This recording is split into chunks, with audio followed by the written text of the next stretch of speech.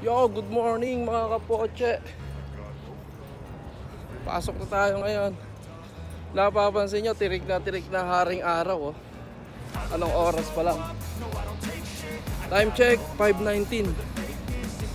Oh. 5.19 ng umaga mga kapoche, pero ang araw. Oh.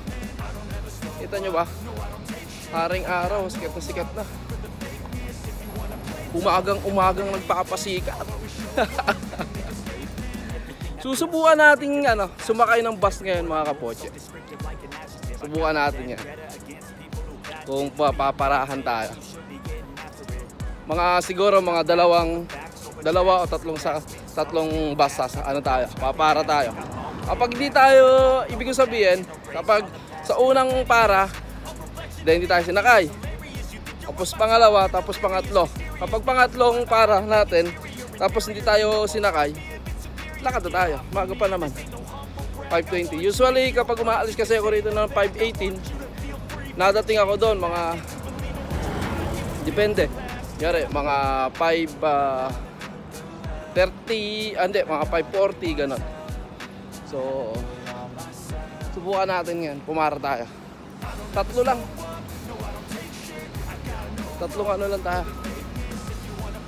Tatlong para. Bibigyan natin sila ng pagkakataon. tayo magbibigay ng pagkakataon sa kanila mga kapotse. Bakit? Pasahero tayo eh ano. Pagka hindi tayo sinakay ate okay lang. Walang mawawala sa atin. Marami naman bus yan eh. Nag ano dyan, nagkalat ang bus dyan. Oo. Kabiglat tayo.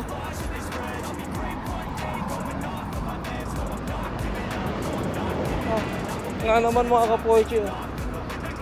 Wala pang nadaang bus. Ayun natin. Ayan. Wala pa. Tatlo lang. Bigyan lang natin sila ng pagkakataon. Tatlong para lang. Yo, mga kapoche. Dito na tayo, lalakad tayo. Nakita nyo, haring araw oh. Sikat na sikat. sikat na sikat. Sumaring araw. Nung oras pa lang. 5.40. 5.40 ng umaga oh.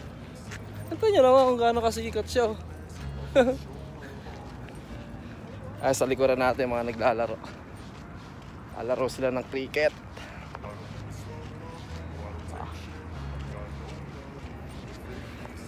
Pagka ganitong araw mga kapoche, hindi pa ito masakit sa balat. Pagka ganito yung ano niya, yung tindi na sikat ng araw niya. Okay pa yan. Kumbaga, kailangan pa ng katawan natin yan eh. Vitamin ano pa yan eh. Vitamin D ba? O vitamin E? Basta yun na yun. Basta vitamin yan. yung ano na yan. Yung sikat ng araw na yan. Maganda yan sa balat. Nakakatulong pa yan. Pero pagdating na ng tanghali, ay may ibang usapan na yun. Hindi na nakakatulong.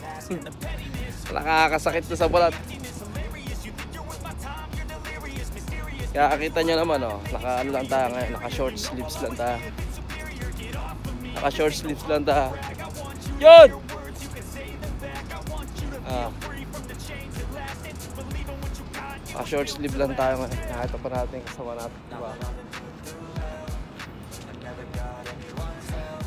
Ganito lang ang daily routine natin mga kapoche. Tuwing umaga, lakad. Ganyan, katrabuhan. Kasi nga, tawag din eh. Malayo yung tinitirhan natin bahay.